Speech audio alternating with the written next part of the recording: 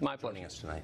Mark Steyn is an author and columnist, and he joins us tonight. I actually kind of I'm carried away with my own rhetoric tonight, Mark, and I mm-hmm. love the idea of a permanent independent counsel who investigates everybody in power. And why not? Why stop with lawmakers? Why wouldn't he get into the guys who run Google and Facebook? I mean, just sort of someone who's you know isn't encumbered by the corruption of the DOJ and who has an endless budget. What's wrong with that? Yeah, that's right, because there's, uh, there's millions and millions of people, and there's laws against everything.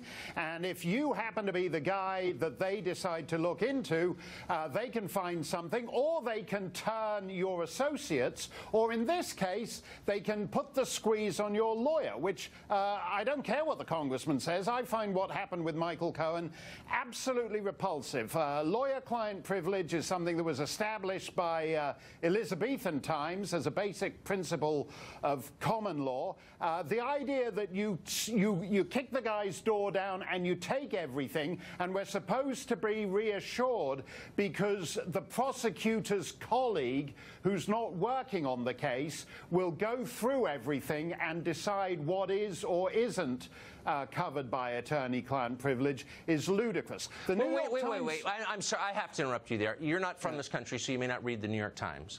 But they assured us two days ago that if you're not guilty, you shouldn't worry about attorney-client privilege. That the president No, really no. has no cause for worry and no cause to hold on to that sacred ancient right if he isn't a criminal. So why should he Yeah, be worried? no, I.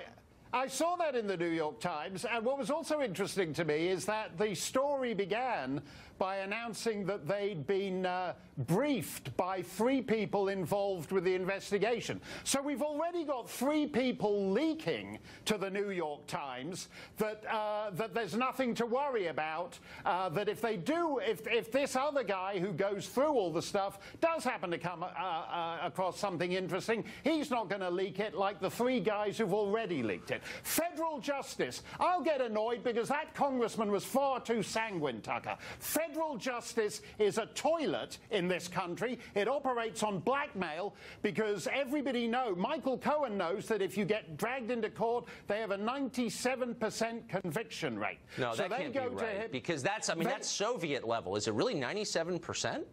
That's right. Now, if they take you into court, they, it's 97%. And so, uh, and so these guys, they say, well, we lean on him, and uh, you say you're looking at 30 years in jail. They're supposedly looking at Michael Cohen because he had a New York taxi medallion business. He ran a fleet of New York taxi cabs. Nobody, you're not telling me that in whatever hotel room he was sitting at, that he had his New York taxi cab documents from a decade ago and was shredding them in the on the 37th floor of the Comfort Inn or whatever the hell he was in.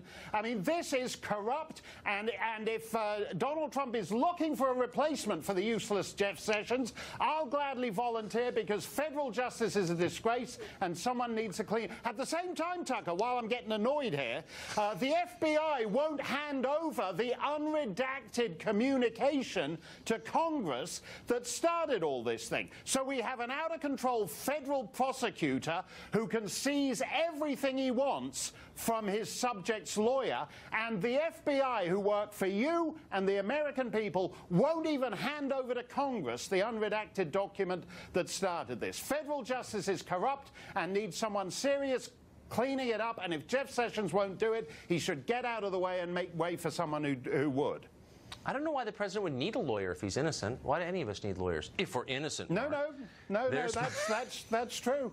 That's true. More Mark I- Steyn I, wonder if that applies to New York Times editors and New York Times journalists. Let's all go and poke around in all their stuff. After all, if they're innocent, they've got nothing to fear. Yeah, give me your, the password hmm. to your Gmail if you're innocent. Yeah. Mark Steyn will be Yeah. back with us in just a minute to discuss the new plan out of California to fix homelessness by building homeless shelters in your backyard. Stay tuned.